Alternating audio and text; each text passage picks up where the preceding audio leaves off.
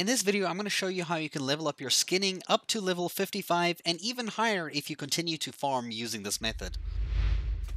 Now, just before you head on to Brightwood, you want to get your skinning to level 55, otherwise you will not be able to skin any animals because the requirement is to be skinning level 55 for any animal that you can skin in Brightwood. There are even some that require 100, but we won't go there just yet. Now you'll notice the wolf that we just skinned gave us 165 to our skinning level, which is, uh, it's, it's, it's okay, but there is a much better way to level skinning in Everfall. So in the Everfall region here, you can see we're at the top left, just above to the left of the shrine location over here. So I'm going to zoom in here to show you roughly where we're going. We're going to this area over here because there are three wolves that we can kill one there one there and one here and we're just going to rotate around them because they spawn so quickly. In this area it will be a corrupted hound that you're looking for. There'll be a lot of players coming through but they'll generally be doing their quest and they'll be moving on really quickly. All you have to do is find these corrupted hounds you kill them which should be quite easy and then you just harvest them and you'll see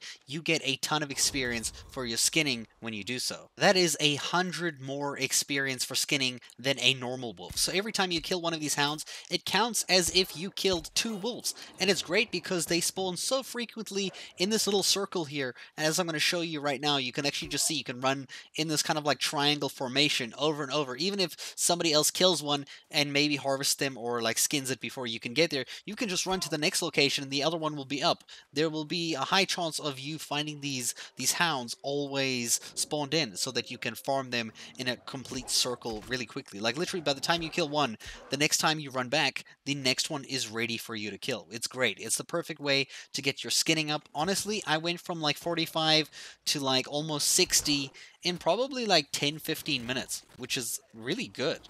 Now by the time you reach skinning 55, you'll be able to harvest or skin the animals in Brightwood, which is the next area that you should probably be questing in later on anyway. And once you're there, you, you roughly get the same kind of experience from skinning those animals than you would from these corrupted hounds. The wolves actually give you about 270 skinning experience, the same amount as the corrupted hound here. So if you want to get your skinning up, this is the best way to do it early game. I hope you guys make good use of this tutorial, and thank you so much for watching.